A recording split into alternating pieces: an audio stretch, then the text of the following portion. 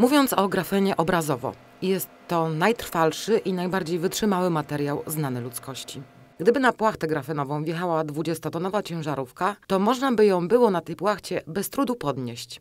Nic więc dziwnego, że grupa naukowców specjalizujących się w elektronice światłowodowej i laserowej na Politechnice Wrocławskiej prowadzą intensywne badania nad tym niezwykłym materiałem. Ich wyniki budzą wielkie nadzieje w wielu dziedzinach życia.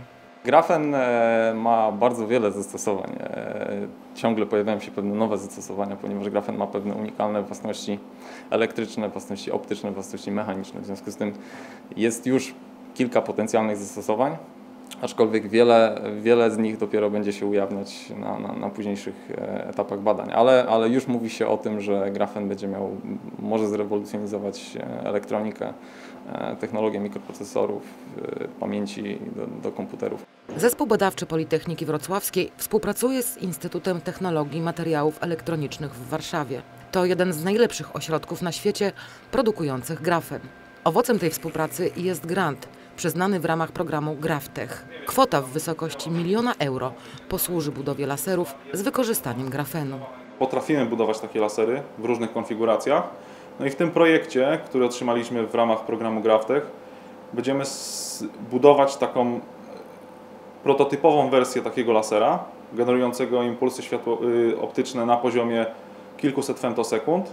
Będzie to taka zwarta konstrukcja prototypowa z całą elektroniką, softwarem i ta konstrukcja takiego lasera będzie później wdrażana przez naszego partnera przemysłowego, czyli będzie on szukał potencjalnych odbiorców e, na świecie, e, badał rynek, czy jest realna szansa na zbudowanie polskiego lasera z polskim grafenem.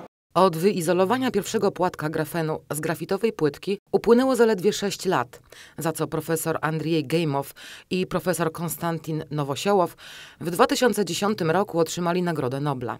Żmudnie odklejając kolejne warstwy od płytki grafitowej za pomocą taśmy samoprzylepnej, uzyskali mikroskopijne płatki grafenu o średnicy pojedynczych mikrometrów. W przyszłości Nagroda Nobla być może przypadnie wrocławskim naukowcom z Politechniki Wrocławskiej. No, y, na razie o tym nie myślimy, ale, ale, ale ciężko pracujemy.